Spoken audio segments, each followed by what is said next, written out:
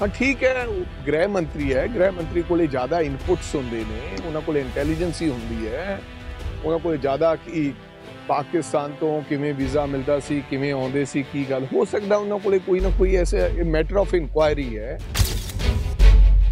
ਵਿਅਕਤੀ ਨੂੰ ਕੋਈ ਵਹਿਮ ਨਹੀਂ ਰਹਿਣਾ ਚਾਹੀਦਾ। ਮੇਰੇ ਮੇ ਸਾਡੇ ਬੜੇ ਬਜ਼ੁਰਗ ਲੀਡਰ ਨੇ ਬਟ ਮੈਂ ਤਾਂ ਉਹਨਾਂ ਨੂੰ ਪਹਿਲਾਂ ਵੀ ਭਾਜਪਾ 'ਚ ਹੀ ਸਮਝਦਾ ਸੀ।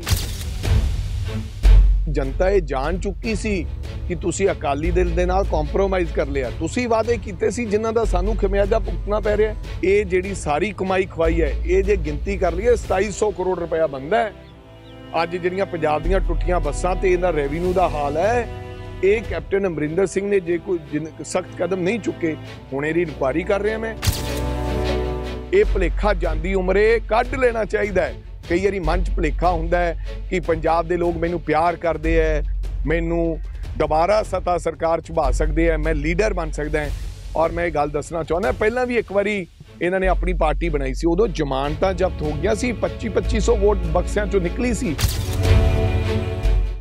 ਬਈ ਟਵਿੱਟਰ ਵਾਰ ਤਾਂ ਹਰ ਬੰਦਾ ਆਪਦਾ ਟਵੀਟ ਦੇ ਰਾਹੀਂ ਇਹ ਵਾਰ ਨਹੀਂ ਹੈ ਟਵੀਟ ਦੇ ਰਾਹੀਂ ਆਪਦਾ ਪੱਖ ਰੱਖਦਾ ਸੋ ਕੁਝ ਗੱਲਾਂ ਜੋ ਕੈਪਟਨ ਅਮਰਿੰਦਰ ਸਿੰਘ ਨੇ ਰੱਖੀਆਂ, ਉਹਦਾ ਜਵਾਬ ਸੁਖਜਿੰਦਰ ਸਿੰਘ ਰੰਧਾਵਾ ਨੇ ਦਿੱਤਾ ਜਾਂ ਹੋਰਾਂ ਵਿਅਕਤੀਆਂ ਨੇ ਦਿੱਤਾ। ਨੈਚੁਰਲੀ ਹੈ, ਜਦੋਂ ਤੁਸੀਂ ਕਿਸੇ ਵੱਲ ਉਂਗਲੀ ਚੱਕੋਗੇ ਤਾਂ ਚਾਰ ਉਂਗਲੀਆਂ ਤੁਹਾਡੇ ਵੱਲ ਵੀ ਹੋਣੀਆਂ ਤੇ ਜਦੋਂ ਤੁਸੀਂ ਕੋਈ ਐਸੀ ਗੱਲ ਕਰੋਗੇ ਉਹਦੇ ਜਵਾਬ ਦੇ ਵਿੱਚ ਤਾਂ ਜਵਾਬ ਦੇਣਾ ਹੀ ਚਾਹੀਦਾ। ਫਿਰ ਜਨਤਾ ਇਹ ਸਮਝਦੀ ਹੈ ਕਿ ਇੱਕ ਤਰਫਾ ਹੋ ਰਿਹਾ, ਜਵਾਬ ਨਹੀਂ ਦਿੱਤਾ ਜਾ ਰਿਹਾ। ਸਾਨੂੰ ਇਹਦਾ ਸਵਾਲ ਦਾ ਹੱਲ ਹੋਣਾ ਚਾਹੀਦਾ। ਸੋ ਮੈਨੂੰ ਲੱਗਦਾ ਇਹ ਲੋਕਤੰਤਰ ਦੇ ਵਿੱਚ ਬਹੁਤ ਬਹੁਤ ਚੰਗੀ ਗੱਲ ਹੈ ਕਿ ਅਸੀਂ ਕਿਸੇ ਵੀ ਵਿਅਕਤੀ ਦਾ ਅਗਰ ਕੋਈ ਸਵਾਲ ਹੈ ਤਾਂ ਉਹਦਾ ਜਵਾਬ ਦੇ ਸਕਦੇ ਹਾਂ। ਠੀਕ ਹੈ, ਉਹ ਗ੍ਰਹਿ ਮੰਤਰੀ ਹੈ। ਗ੍ਰਹਿ ਮੰਤਰੀ ਕੋਲੇ ਜ਼ਿਆਦਾ ਇਨਪੁਟਸ ਹੁੰਦੇ ਨੇ, ਉਹਨਾਂ ਕੋਲੇ ਇੰਟੈਲੀਜੈਂਸ ਹੀ ਹੁੰਦੀ ਹੈ।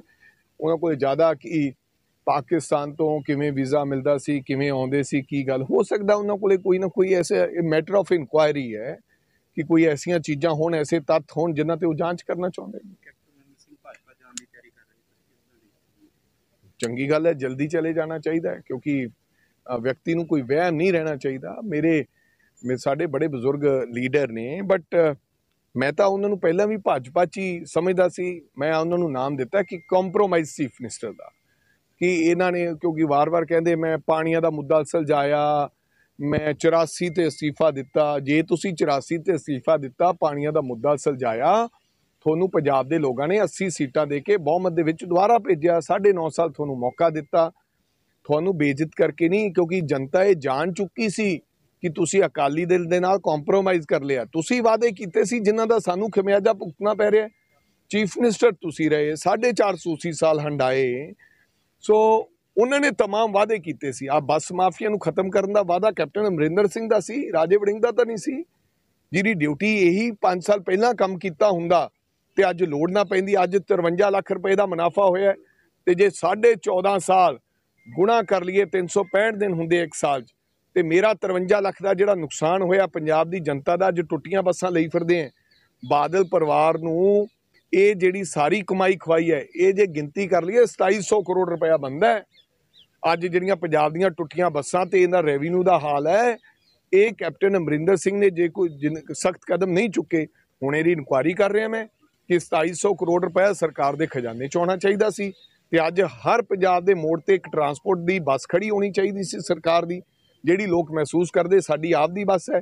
ਐਵੇਂ ਹੁਣ ਭਾਜਪਾ ਦੇ ਨਾਲ ਕਹਿੰਦੇ ਕਿ ਮੈਂ ਕਿਸਾਨੀ ਮੁੱਦੇ ਹੱਲ ਕਰਾਉਣੇ ਹੈ ਬਈ ਮੁੱਖ ਮੰਤਰੀ ਹੋ ਕੇ ਤਾਂ ਤੁਸੀਂ ਕਿਸਾਨੀ ਮੁੱਦੇ ਹ- ਮੁੱਦੇ ਹੱਲ ਨਹੀਂ ਕਰਾ ਸਕੇ।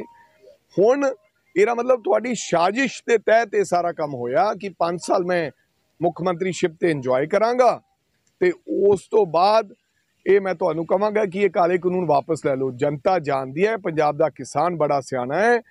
ਅੱਜ ਪੰਜਾਬ ਦੇ ਕਿਸਾਨ ਨੂੰ 9 ਮਹੀਨੇ ਹੋ ਗਏ ਉੱਥੇ ਬੈਠਿਆਂ ਨੂੰ 650 ਲੋਕ ਮਰ ਚੁੱਕੇ ਨੇ। ਇਹੀ ਹਰਸਿਮਰਤ ਕੌਰ ਬਾਦਲ ਕਹਿੰਦੀ ਹੈ। ਹਰਸਿਮਰਤ ਕੌਰ ਬਾਦਲ ਦਸਕਤ ਕਰਕੇ ਕਿਸਾਨਾਂ ਦੀ ਮੌਤ ਦੇ ਵਾਰੰਟ ਤੇ ਤੇ ਅਸਤੀਫਾ ਦੇ ਦਿੱਤਾ। ਪਹਿਲਾਂ ਕਹਿੰਦੇ ਲੈ ਕਾਨੂੰਨ ਵਧੀਆ ਹੈ। ਹੁਣ ਅਮਰਿੰਦਰ ਸਿੰਘ ਇਸ ਪਾਸੇ ਲੱਗਿਆ ਕਿ ਮੈਂ ਕਾਨੂੰਨ ਵਾਪਸ ਲੈ ਲਾਂਗਾ ਮੈਂ ਸੈਂਟਰ ਨਾਲ ਗੱਲ ਕਰ ਰਿਹਾ। ਭਾਈ ਵੀ ਜੇ ਹੁਣ ਤੁਹਾਡੇ ਕੋਲ ਇਹ ਤਾਕਤ ਹੈ ਕਾਨੂੰਨ ਵਾਪਸ ਦਿਵਾਉਣ ਦੀ, ਤੇ ਪਹਿਲਾਂ ਮੁੱਖ ਮੰਤਰੀ ਜਦੋਂ ਸੀਗੇ, ਉਦੋਂ ਤੁਸੀਂ ਕੀ ਕਰ ਰਹੇ ਸੀ? ਇਹ ਸਾਰੀ ਸਾਜ਼ਿਸ਼ ਦੇ ਤਹਿਤ ਤਾਂ ਹੀ ਮੈਂ ਇਹ ਨਾਮ ਦਿੱਤਾ ਹੈ ਅਮਰਿੰਦਰ ਸਿੰਘ ਨੂੰ ਕਿ ਕੰਪਰੋਮਾਈਜ਼ ਚੀਫ ਮਿਨਿਸਟਰ ਹਰ ਮੁੱਦੇ ਤੇ, ਹਰ ਮੁੱਦੇ ਤੇ ਕੰਪਰੋਮਾਈਜ਼ ਕਰਕੇ ਆਪਦੀ ਪ੍ਰਿੰਸੀਪਲ ਆਪੋਜੀਸ਼ਨ ਪਾਰਟੀਆਂ ਦੇ ਨਾਲ ਸਮਝੌਤਾ ਕਰ ਲਿਆ ਤੇ ਅੱਜ ਉਹਨਾਂ ਨਾਲ ਮਿਲ ਕੇ ਪਾਰਟੀ ਬਣਾਉਣ ਦੀ ਗੱਲ ਕਰ ਰਹੇ ਹੈ ਔਰ ਜਲਦੀ ਬਣਾ ਲੈਣੀ ਚਾਹੀਦੀ ਹੈ। ਮੈਂ ਵਧਾਈ ਦੇਣਾ ਚਾਹੁੰਦਾ ਕੈਪਟਨ ਅਮਰਿੰਦਰ ਸਿੰਘ ਨੂੰ। ਇਹ ਭੁਲੇਖਾ ਜਾਂਦੀ ਉਮਰੇ ਕੱਢ ਲੈਣਾ ਚਾਹੀਦਾ ਹੈ। ਕਈ ਵਾਰੀ ਮਨ 'ਚ ਭੁਲੇਖਾ ਹੁੰਦਾ ਹੈ ਕਿ ਪੰਜਾਬ ਦੇ ਲੋਕ ਮੈਨੂੰ ਪਿਆਰ ਕਰਦੇ ਹੈ ਮੈਨੂੰ ਦੁਬਾਰਾ ਸਤਾ ਸਰਕਾਰ ਚ ਬਾ ਸਕਦੇ ਆ ਮੈਂ ਲੀਡਰ ਬਣ ਸਕਦਾ ਹਾਂ ਔਰ ਮੈਂ ਇਹ ਗੱਲ ਦੱਸਣਾ ਚਾਹੁੰਦਾ, ਪਹਿਲਾਂ ਵੀ ਇੱਕ ਵਾਰੀ ਇਹਨਾਂ ਨੇ ਆਪਣੀ ਪਾਰਟੀ ਬਣਾਈ ਸੀ, ਉਦੋਂ ਜ਼ਮਾਨਤਾਂ ਜ਼ਬਤ ਹੋ ਗਈਆਂ ਸੀ 25 2500 ਵੋਟ ਬਕਸਿਆਂ ਚੋਂ ਨਿਕਲੀ ਸੀ। ਔਰ ਇਹ ਭੁਲੇਖਾ ਹੁਣ ਜਾਂਦੀ ਉਮਰੇ ਵੀ ਕੱਢ ਲੈਣਾ ਚਾਹੀਦਾ, ਕੋਈ ਐਸੀ ਗੱਲ ਨਹੀਂ। ਦੇਸ਼ ਦੁਨੀਆ ਦੀ ਹਰ ਵੱਡੀ ਖਬਰ ਨਾਲ ਜੁੜੇ ਰਹਿਣ ਲਈ ਸਾਡੇ YouTube ਚੈਨਲ ਨੂੰ ਸਬਸਕ੍ਰਾਈਬ ਕਰੋ। ਨਾਲ ਦੀ ਨਾਲ ਹਰ ਨਵੀਂ ਵੀਡੀਓ ਦੀ ਨੋਟੀਫਿਕੇਸ਼ਨ ਲਈ ਬੈਲ ਆਈਕਨ ਜ਼ਰੂਰ ਦਬਾਓ। ਜੇਕਰ ਤੁਸੀਂ ਇਹ ਵੀਡੀਓ Facebook ਤੇ ਦੇਖ ਰਹੇ ਹੋ ਤਾਂ ਇਸ ਨੂੰ ਲਾਈਕ ਜ਼ਰੂਰ ਕਰੋ ਔਰ ਜ਼ਿਆਦਾ ਤੋਂ ਜ਼ਿਆਦਾ ਸ਼ੇਅਰ ਵੀ ਕਰੋ। ਧੰਨਵਾਦ।